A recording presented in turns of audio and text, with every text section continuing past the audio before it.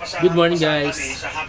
Today gagawin natin yung challenge, ang COVID-19 push-up challenge. COVID-19 Super Nacho DCEE Yan. Special Coverage. Pakaigan kahapon na putol tayo ng uh, 19. Panayam kay Ready?